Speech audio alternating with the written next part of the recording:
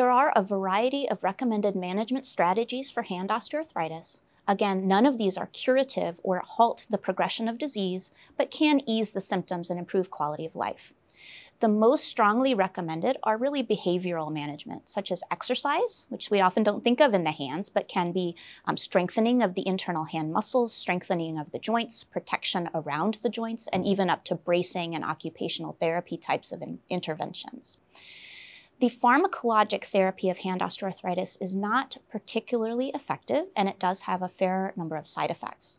So while oral NSAIDs or nonsteroidal anti-inflammatory drugs are the most strongly recommended by the American College of Rheumatology, many patients with hand osteoarthritis have multiple comorbidities and multiple other sites of osteoarthritis and are not candidates for these types of medications. Unfortunately, they can cause GI bleeding, peptic ulcer disease, and can aggravate kidney issues in patients with these common comorbidities of osteoarthritis. There is a good option, however, which is topical NSAIDs. So rather than taking oral NSAIDs by mouth and dealing with the systemic um, contraindications of those, the topical NSAIDs are quite effective for hand osteoarthritis as the joints are quite superficial and readily um, reached by these medications, which are much safer and are preferentially recommended in people over 75.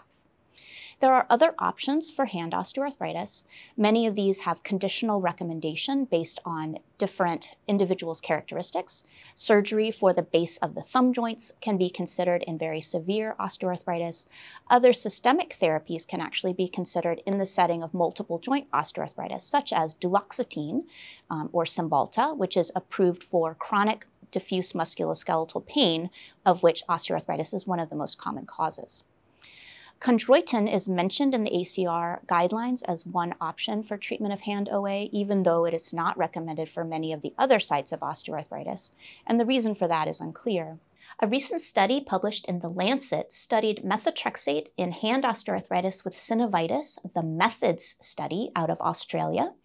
Unlike prior randomized clinical trials using methotrexate in hand OA, this study used a reasonable dose, so 20 milligrams a week, which is the standard dose for rheumatoid arthritis, over a longer follow-up period, and found a small benefit for pain and function in individuals with hand OA.